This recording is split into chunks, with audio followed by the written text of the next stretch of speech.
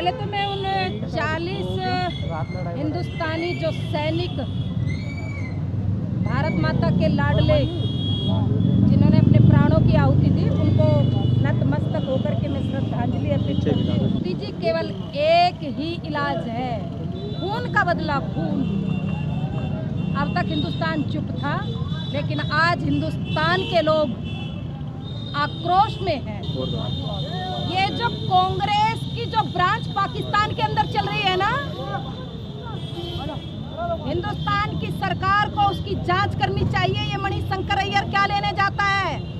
पाकिस्तान के अंदर ये नवजोत सिद्धू, ये जाकर के गले मिलता है। और कांग्रेसियों की इनकी नार्को टेस्ट होना चाहिए।